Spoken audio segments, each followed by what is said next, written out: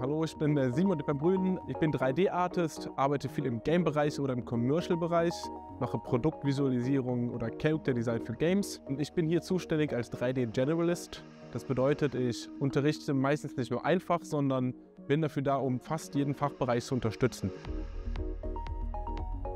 Ihr braucht nicht dringend Vorkenntnisse, wenn ihr anfängt. Äh, hilfreich wäre aber natürlich, wenn ihr wisst, wie ein PC funktioniert, also wie funktioniert Windows, wie funktioniert eine Festplatte. Und sehr gut ist natürlich, aber die meisten haben es auch wahrscheinlich ein Fable für Games oder für Film, dass, wenn man hier anfängt, schon die Motivation stark ist, diesen Bereich auch lernen zu wollen.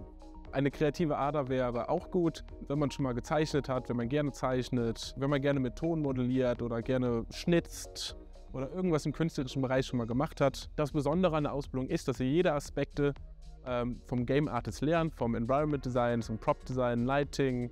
Es gibt noch einige andere Bereiche. Ihr werdet sie lernen und am Ende zusammenfügen zu einem Game. Nach dieser Ausbildung habt ihr eine große Anzahl an verschiedenen Jobs, die ihr, ihr machen könnt.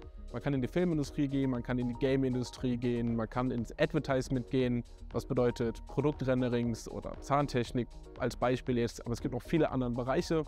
Meistens ist es so, dass Schüler nach einem Jahr hier ihren Bereich finden. Und im zweiten Jahr kann man sich spezialisieren. Man kann im Bereich Texturing gehen, man kann im Bereich Environment Design gehen. Am meisten Spaß macht mir die Entwicklung der StudentInnen zu sehen. Die meisten fangen hier an und schauen sich Maya, das ist so das gängige 3D-Programm, womit wir arbeiten, an.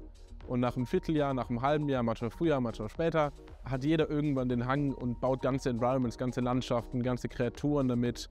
Und dieser, dieser Entwicklungsprozess zwischen gar nichts bis guck mal, was ich hier erstellt habe und das zeigt man dann den Eltern, das zeigt man dann den Großeltern. Ähm, das finde ich schön.